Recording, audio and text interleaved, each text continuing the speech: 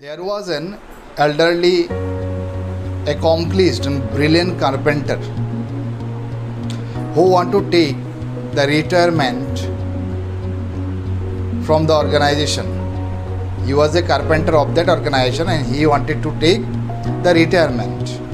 Because of this reason, he approached to the boss or the employer of that company and asked that I want to take the retirement I became 60 years old and nowadays now I want to think that I want to spend rest of my life with my families with my friend circles and relatives.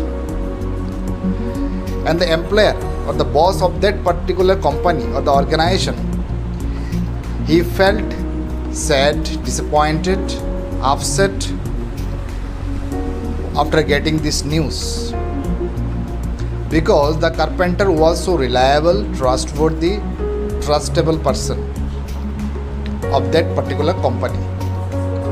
When the employer got this news, he was saddened by this news, but requested that before left of this organization, before leaving this organization, uh, last request I have a last request. The employer said, I have a last request for you that uh, one another building should be made by you.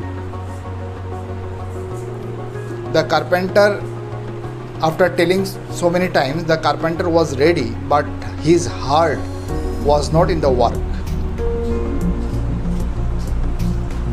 Even though he was ready to do these tasks. When the work of the construction of that building is going on, the carpenter used shoddy materials and rushed through the project.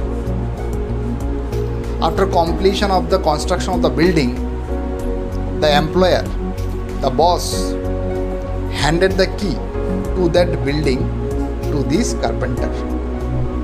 And the carpenter was shocked, astonished, and felt ashamed.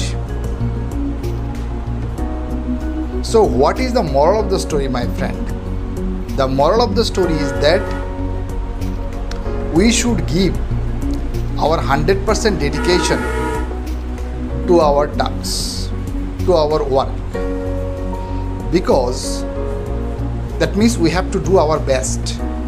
Because the choices we make affects our lives in different ways that may affect our life in future or our upcoming life.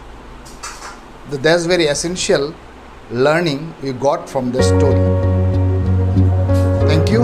Have a good day. Wish you all the best. Bye bye tata. Jai hind jai bharat